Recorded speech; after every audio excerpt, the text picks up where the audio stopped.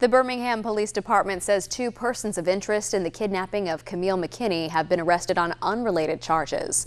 The three-year-old girl was last seen Saturday night while attending a birthday party in Birmingham. On Tuesday, investigators arrested 39-year-old Patrick Stallworth and 29-year-old Derick Brown on unrelated charges. Police believe the two involved in the abduction of McKinney, but both are being held at the Jefferson County Jail. Police, meanwhile, do continue to search for the little girl.